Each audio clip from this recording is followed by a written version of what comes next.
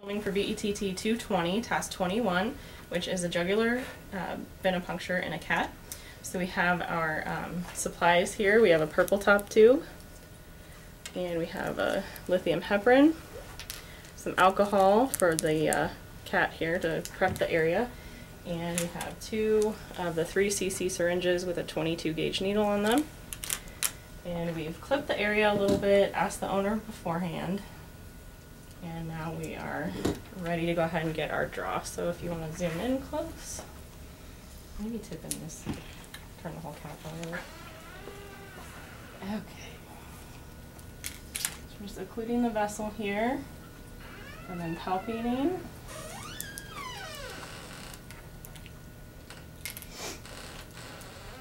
Okay, and inserting the needle bevel up.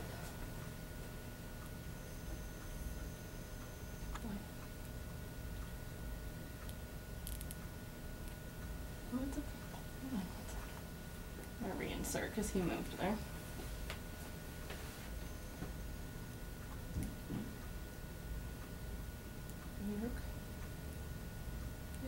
Russell? Interesting. Something about the way he's sitting is not popping that up. I'm gonna try one more time here. Oh boy. And down a little. Okay, same thing, bevel up. Has no blood. There we are.